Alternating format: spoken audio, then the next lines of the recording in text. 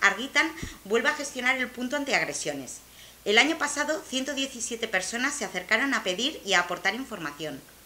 En él divulgaremos la información necesaria a la hora de enfrentar una agresión sexista, denunciarla, etc., a través de un protocolo de actuación elaborado en el Grupo Antiagresiones de la Comisión de Fiestas.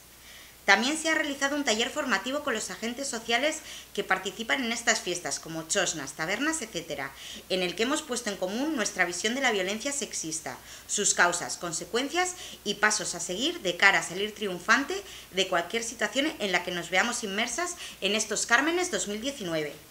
Alrededor del punto de información ante agresiones pondremos en marcha distintas actividades feministas y festivas.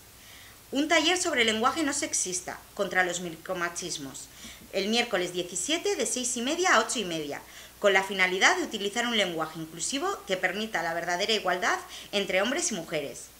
Un fotocall feminista, dos horas todos los días mientras se encuentra abierto el punto de información. Una pirata feminista orgullosa de ser mujer y una caperucita roja que va a cambiar el cuento tradicional, serán las que posen para todas las mujeres que lo deseemos nos reflejemos en ellas, como referencias de cambio en una sociedad sin violencias machistas.